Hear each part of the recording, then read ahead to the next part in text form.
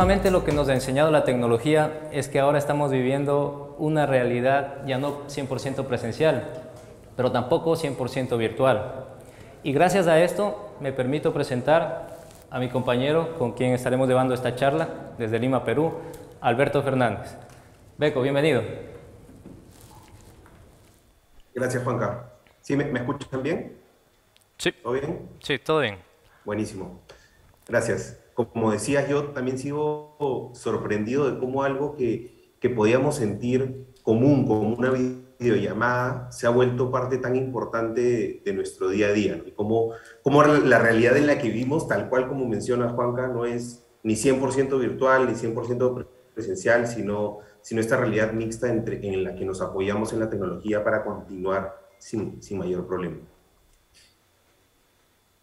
Más aún cuando, cuando pensamos en nuestra vida hace dos años, antes de la pandemia, este, cómo era distinta ¿no? en, en cuanto a nuestro trabajo, nuestras relaciones en casa, nuestra manera de socializar. Si bien nuestro día a día estaba muy relacionado a la tecnología, no dependíamos de ella de la manera en la que lo hacemos ahora. Ocasionalmente podíamos hacer una videollamada de trabajo, pero no dependía nuestro trabajo 100% de eso. Antes también podíamos ver algunas plataformas de video en casa como Netflix, entre otras. Pero competía directamente con salir, con ir al cine, ¿no? Y, no es, o sea, lo que quiero llegar es que no apareció la tecnología de la nada, sino que tomó una nueva relevancia en nuestras vidas gracias a la que la, gracias a que la tecnología no dejó de evolucionar. Y gracias a esto, justamente, es que pudimos impulsarnos en ella cuando más la necesitábamos para poder continuar con ese día a día que, se interrumpió, ya que en muchos casos tuvimos que estar encerrados durante el año pasado, alejados de nuestras familias o alejados de las personas con las que trabajábamos. Y si la tecnología no hubiera estado en el nivel en el que estaba, nuestra experiencia durante la pandemia hubiera sido totalmente distinta. Nuestra realidad se transformó, pero pudimos seguir trabajando gracias al trabajo remoto en muchos casos. Y nuestros hijos pudieron seguir en la escuela gracias a las clases virtuales y así muchas cosas más. Y es que parte del rol de la tecnología es seguir evolucionando y reinventándose cada año.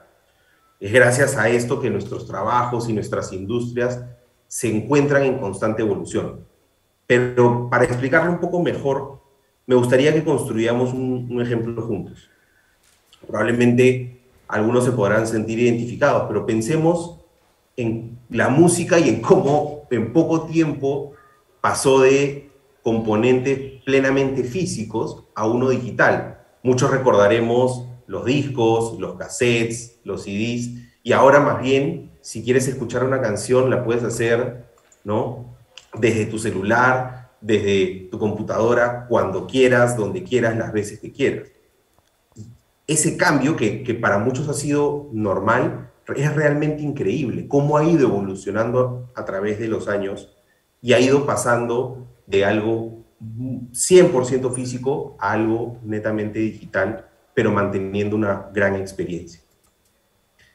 Lo mismo ha pasado, por ejemplo, en la agricultura, donde antes tenías que dar grandes paseos para ver la producción que uno iba a tener, o si había temas de plagas o enfermedades. Y hoy en día, gracias a drones, imágenes satelitales y demás soluciones, puedes saberlo mucho más rápido y con mayor alcance. Pensemos en cómo la tecnología ha ido cambiando, evolucionando y reinventando muchas de las cosas que veníamos haciendo. Gracias a esta evolución constante, muchas industrias han podido mantener vigentes. Pensemos ahora más bien en cómo está nuestra industria camaronera. Por ejemplo, pensemos en cómo era hace siete años muy difícil tal vez encontrar piscinas con alimentadores automáticos y hoy tal vez es mucho más común de lo que, de lo que pensábamos. La tecnología ha empezado a tener una relevancia bastante mayor en nuestros procesos, pero gracias justamente al impacto positivo que viene teniendo en el crecimiento de nuestros camarones, en el factor de conversión, en la biomasa, por nombrar algunos indicadores, pero justamente estos indicadores se ven beneficiados por el uso de la tecnología. Por esto, es necesario que apostemos por la mejor tecnología. Y si algo quiero transmitirles es que la, mejor tecnología no siempre es la de, la misma marca. Tenemos más bien que pensar y permitirnos en tener esa flexibilidad adecuada para ver qué es lo mejor del mercado y también qué es lo que está a, nuestro alcance.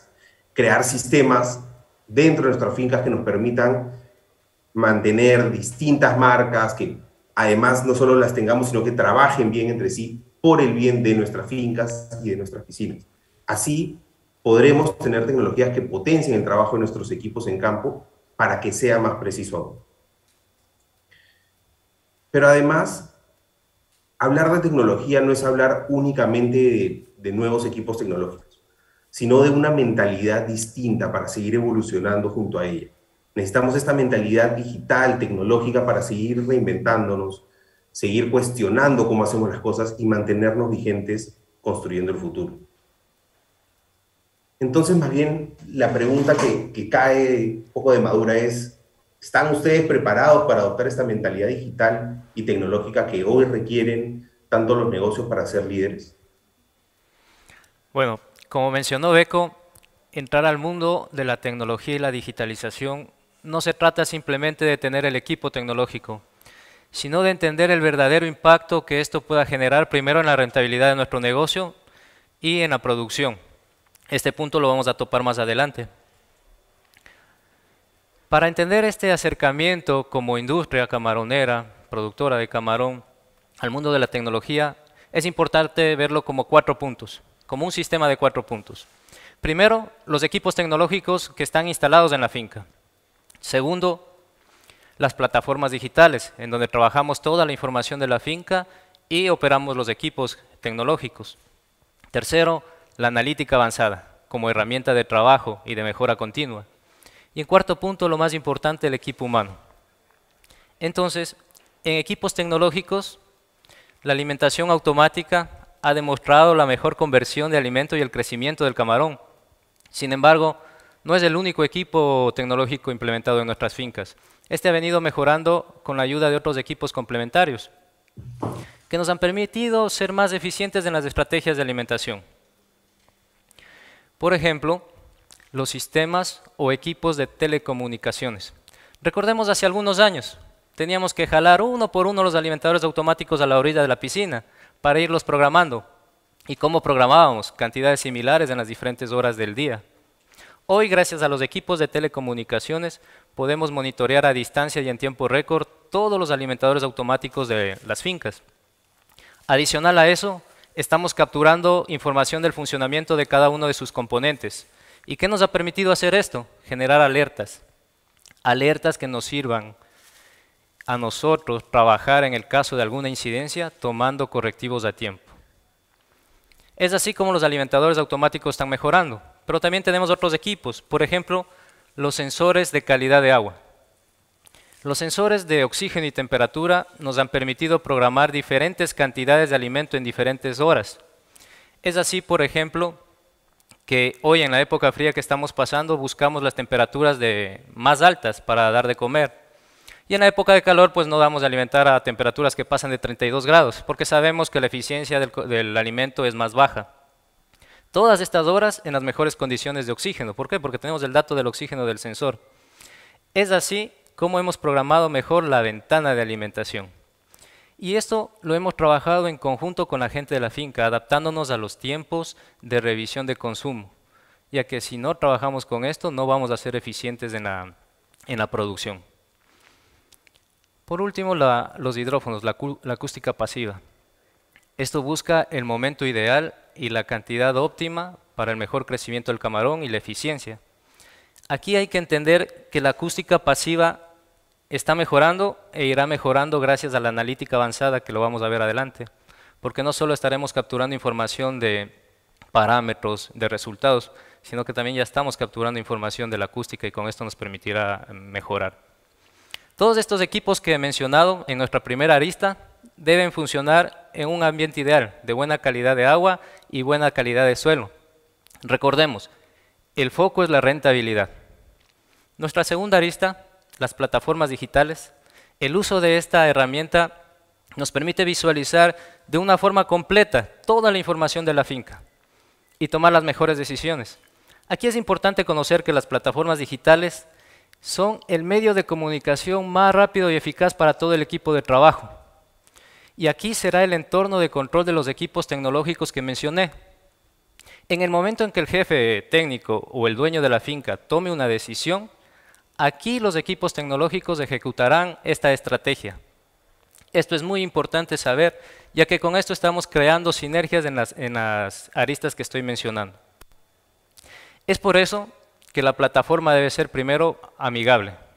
Amigable, ¿por qué? Porque debe ser entendible por todos los usuarios, todo el equipo de trabajo, desde los parametristas, los jefes financieros, debe ser sencilla, eh, el jefe de producción. Pero también debe ser dinámica, debe ser rápida y sobre todo debe estar disponible. En el momento que necesitamos subir una información debe estar disponible. En el momento que necesitemos revisar una información o analizar a profundidad, la plataforma debe estar disponible. Y algo muy importante, una tercera característica que he puesto acá, es que debe ser abierta. Recordemos, la tecnología cada año nos irá trayendo nuevos equipos e iremos probando en campo nuevos equipos. Y también irán apareciendo nuevas marcas de equipos con nuevas propuestas y tendremos más stands acá.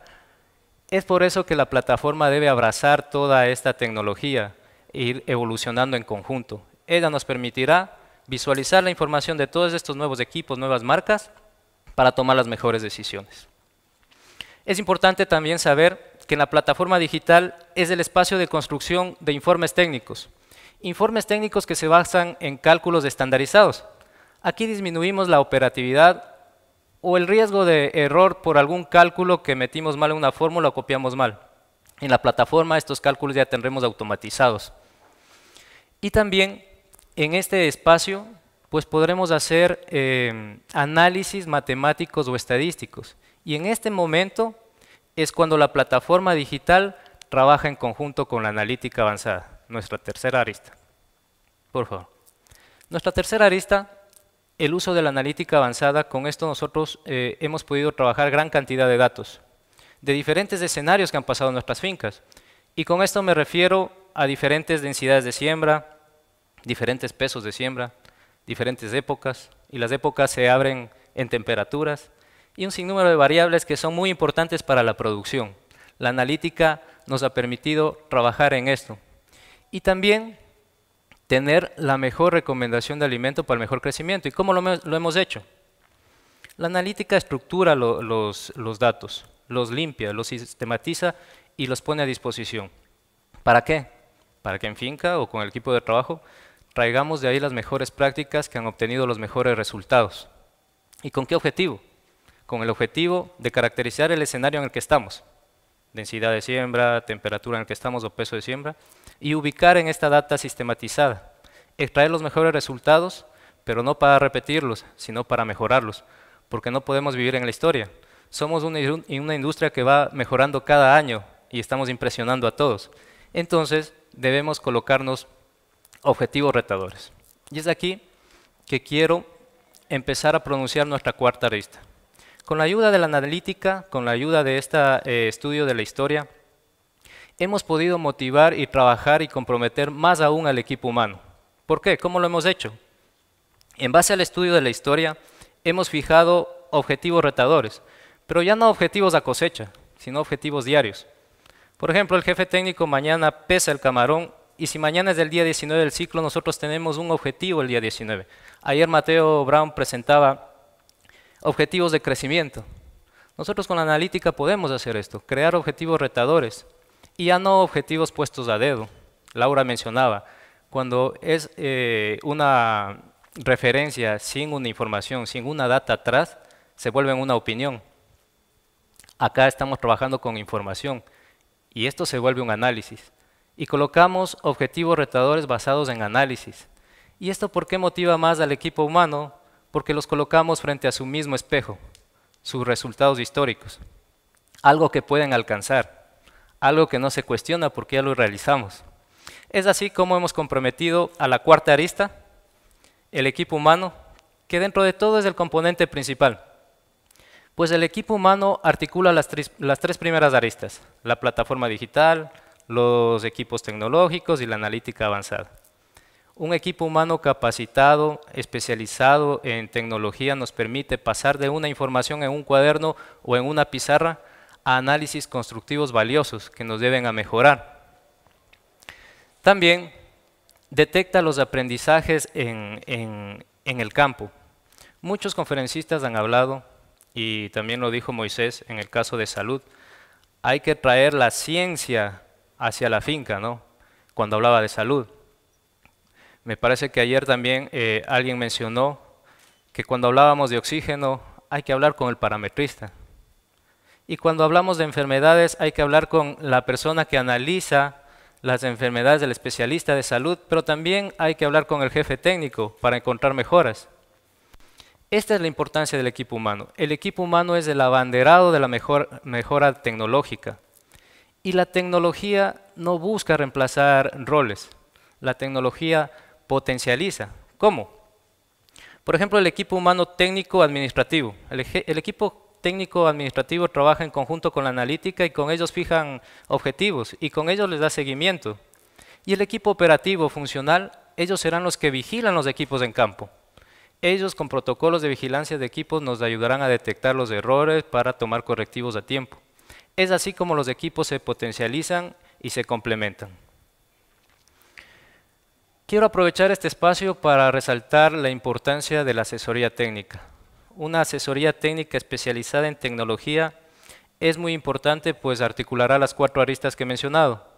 Al equipo humano capacitándole, a la plataforma digital guiándonos como muchos nos han guiado en el mejor uso y en la, la mejor lectura de la información, a la analítica estableciendo las mejores hipótesis que se resuelvan, preguntas que pueden ser de algún, eh, alguna hipótesis en campo, algo que está viendo el personal o alguien que ha visto al lado en finca para mediante la, data que se tenga estructurada, sistematizada, resolverla e ir en un camino de mejora. Y también a los equipos tecnológicos, ayudando a vigilar, ayudando a crear protocolos de instalación, de vigilancia y de mantenimiento. Entonces, con la asesoría técnica de los especialistas en las diferentes ramas, hemos desarrollado cuatro procesos bases que sirven para el, despliegue de la tecnología. El primero es el diagnóstico. El objetivo del diagnóstico es adaptar la tecnología que tenemos en las manos hacia la finca en la que vamos. Cada finca es diferente, diferente en geografía, diferente en nivel, diferente en recursos. El objetivo de un buen diagnóstico nos asegurará la estabilidad sobre todo de las telecomunicaciones. Las telecomunicaciones son muy importantes ya que ellas nos ayudarán a que la orden del jefe técnico basado en un análisis, en una noche de, o varias noches de análisis de expectativas, de objetivos, se resuelvan mediante la buena eficiencia de los equipos. El otro, protocolo son el otro proceso son los protocolos de instalación. Son procesos sistematizados que se basan en pruebas, pruebas de cada componente en el que vamos a instalar. Por ejemplo, en alimentadores automáticos, es súper importante realizar las pruebas necesarias para determinar las tasas de dispersión. Pues las tasas de dispersión son diferentes en diferentes condiciones del equipo y también en condiciones del tipo de alimento, por ejemplo. Si nosotros no tenemos o no probamos las diferentes o no detectamos la, la tasa de dispersión de nuestros equipos, cometeremos un error al programarlos en la plataforma digital. Pues la alimentación que se da no será en cantidad ni en el tiempo que quiere el FGB técnico o que el equipo resolvió.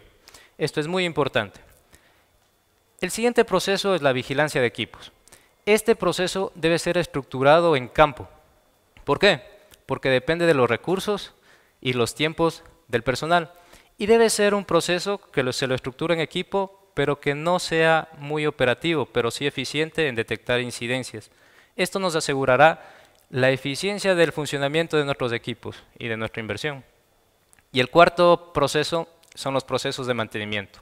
Igual que debe ser revisado con los recursos y los tiempos, porque nuestros equipos van a estar en condiciones extremas, tanto de sol, de agua, inclusive los pajaritos nos afectan. ¿sí? Hemos visto que son un dolor de cabeza.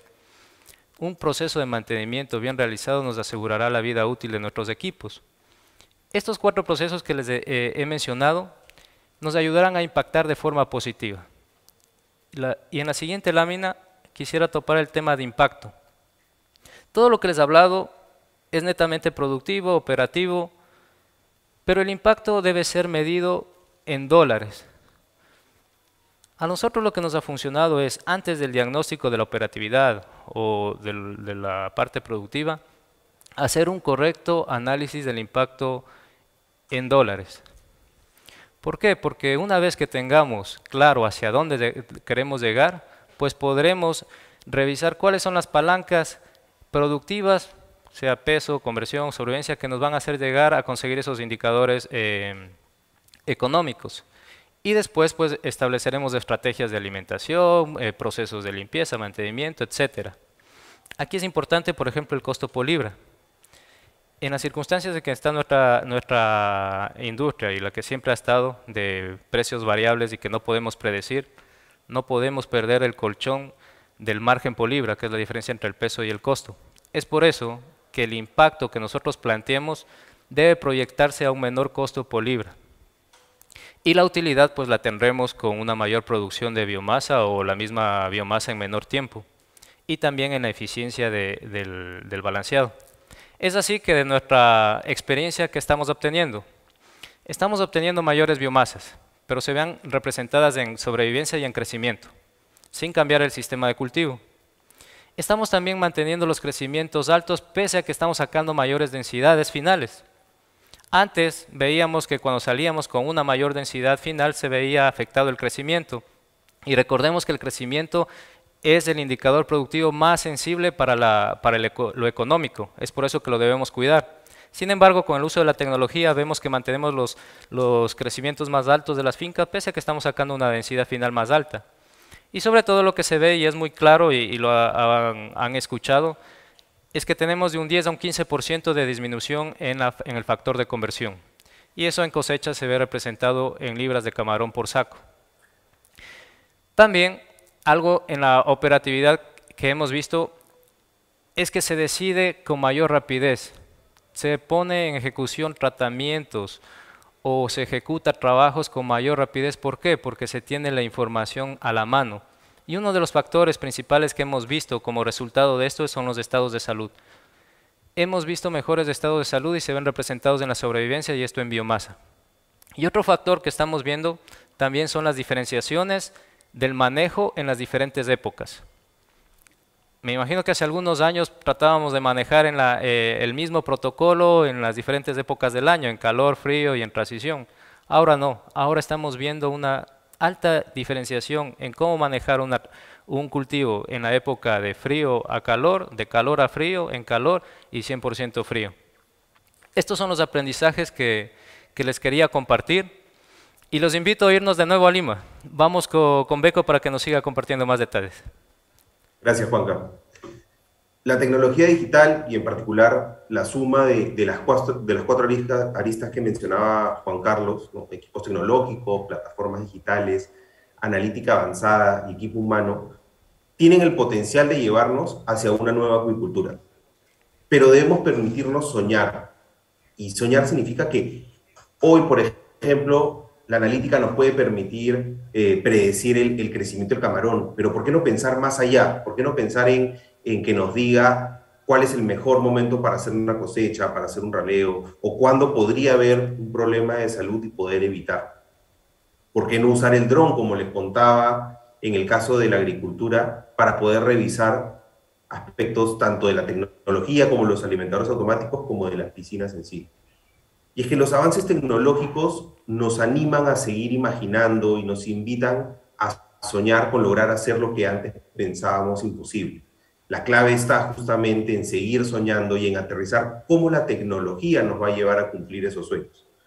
Hoy tenemos la oportunidad de prevenir ciertas cosas, de aprender del pasado y, enfrentar de una mejor manera el futuro gracias al impulso que nos, que nos da la tecnología, como lo hemos visto con Juan Carlos. Es por eso que hay tres cosas que, quisiéramos que se lleven para poder encaminarse en este proceso desde hoy.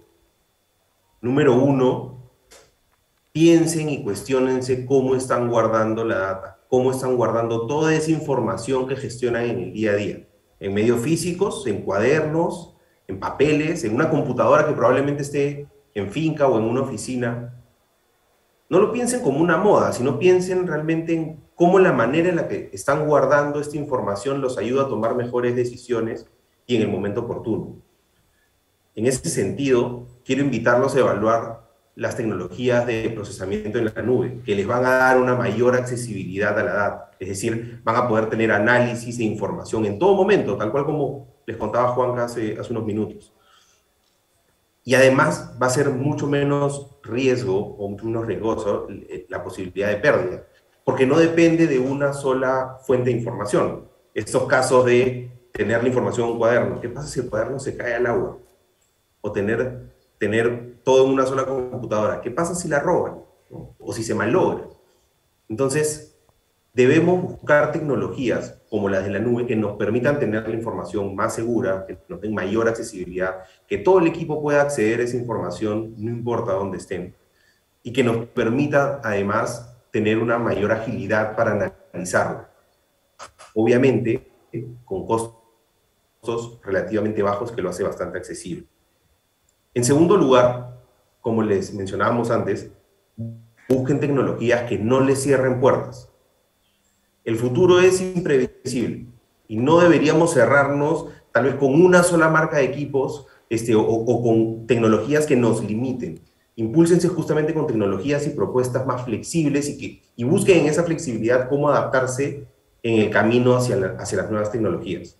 No piensen únicamente en lo que la tecnología les da hoy, sino en lo que puede llegar a ser en uno, tres, cinco años y cómo las propuestas que les ofrecen hoy los pueden ayudar a llegar a ese punto en muchas industrias hemos visto casos interesantes pero poco exitosos de propuestas rígidas y cerradas que finalmente terminaban impactando a los usuarios, en este caso a ustedes, ¿no? a limitarles la cantidad de opciones y beneficios que pueden tener. Por el contrario, piensen en soluciones que partan de un principio mucho más abierto, que sin importar lo que venga en el futuro pueda adaptarse. Y por último, y creo más importante, rodeense de aliados que sepan integrar estas cuatro aristas de las que estamos hablando. Equipos tecnológicos, plataformas digitales, analítica avanzada y equipo humano. Hay equipos de asesoría técnica especializada en tecnología. Busquen involucrarlos en sus procesos productivos. Ellos están listos para ir con ustedes de la mano hacia una nueva apicultura, pero también vean cómo estos equipos pueden potenciar a esos expertos que ustedes ya tienen en sus negocios, cómo la suma de ambos puede potenciar las capacidades de su empresa y lograr resultados extraordinarios. Entonces, resumiendo, busquen o investiguen sobre las tecnologías en la nube para poder almacenar y procesar la información, impúlsense con tecnologías flexibles que les permitan adaptarse a este futuro incierto que se puede, que se puede ir dando. E involúcrense con la integrando la tecnología en el campo, ya que el futuro lo hacemos hoy. Gracias. Muchas gracias. Oh, siempre ustedes innovando. Eh, personalmente yo los felicito. Muchas gracias. personalmente, ¿no? Eh, eh, hace un par de años también eh, hablé con alguien de ustedes, de Covita, y me llamó mucho la atención de esa variación o variabilidad de intelectos. Son, hay mecatrónicos, hay muchas profesiones y es, y es un productor de alimentos balanceados.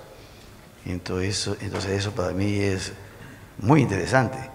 Entonces hay mucha información desde muchos puntos de vista. Eso es muy interesante.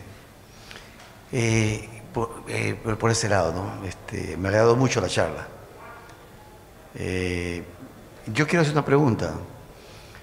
Están hablando de márgenes. el 2020 se rompió muchos paradigmas. Eso fue muy bueno para el sector camaronero se ha aprendido muchas cosas. Todo, la gran mayoría del sector camaronero ha aprendido a ser más barato todo. Eh, bueno, a la fuerza. Aunque no debe ser así, ¿no? Sino debe ser ya parte de, de. Pero bueno, así, así somos los seres humanos, ¿no? Pero el asunto, vamos a, un poquito más allá, ¿no? Eh, buscar índices. Eh, Laura hizo en alguna ocasión una, una, una charla muy interesante sobre índices. Pero obviamente cada índice que depende de cada quien, de cada quien cómo maneja sus producciones. Y yo, yo propongo, ¿no? ustedes este, como Nicovita, y tienen una data muy, muy, muy amplia, entonces ver índices para poderse medir, porque así es la industria, ¿no? se verá en segmentos, ¿no? alguien que lo hace muy bien, medio, bajo, entonces cada quien va a medirse de acuerdo a cada segmento de, de producción o de, o de márgenes. Ahora, la pregunta es, la medición del margen, eh, en mi opinión personal, es TIRI. Ahí lo definen realmente, tasa interna de retorno. Ahí tiene que ver mucho con la velocidad de crecimiento, costos por libra, como usted dice hace un momento, pero yo, yo en mi opinión personal, Es lo que debería medirse. Y también van, ¿no? porque puede ser una carbonera un poquito escueta, o puede ser una carbonera muy, muy tecnificada, y entonces cuánto cuesta, cuál es la inversión realmente y cuál es su valor con un costo de oportunidad. ¿no? Entonces habría que medir de esa manera. En todo caso, yo dejo al aire, ¿no? en una próxima charla, no sé, o si me puede ayudar a, eh, a, hacer una evaluación, porque, eh, por ejemplo, si hablamos de Tailandia, hablamos de que hacen 9.5 kilos por metro, no nos podemos medir aquí en Ecuador porque son diferentes condiciones, pero a nivel de Ecuador, ¿ok? Hay rango, ¿no? Sí. Entonces, la gran mayoría de la campana pues, va a ser el 70% de lo que más o menos se está haciendo. Y para poderse comparar en la industria, para saber si lo estoy haciendo bien o no lo estoy haciendo bien, o lo estoy haciendo un poquito mejor, ¿no? Eso sería como para ayudar al sector camaronero. ¿Me explico? Sí, muy claro. Eh, sí, la, propuesta es, eh, para resumir un poquito más, la propuesta es hacer un, un, análisis un poco más allá, un análisis financiero basado en los indicadores que nos dice, el TIR, el BAN, eh, en, varios escenarios, ¿no? Sí, eh, eh, eso es muy viable. Lo, lo, bueno sería empezar por una finca y luego ir ampliando los escenarios, ¿no? Y obviamente estamos en una dinámica de precios muy variable, tal vez ahí los hizo precios, es decir, estandarizar los precios para que, la, que el análisis sea un poquito más... Pero se lo puede hacer.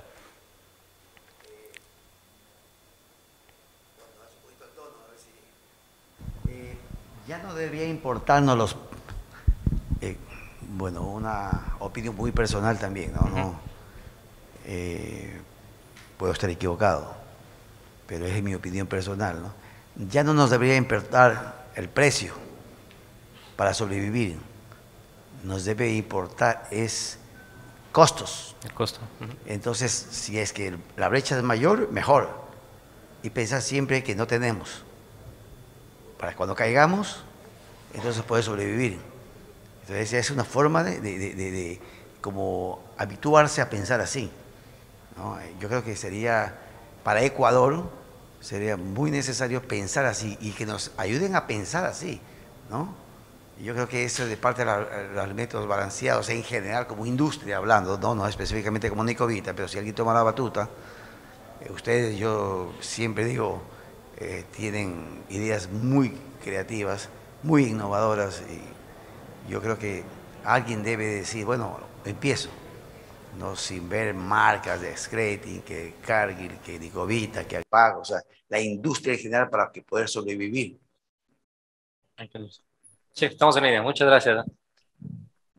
Bien, agradecemos a Juan Carlos y Alberto por esta...